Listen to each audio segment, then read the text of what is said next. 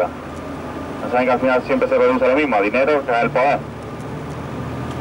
Bueno, pero la fundación oficial de, de San Antonio se le considera en el año 1038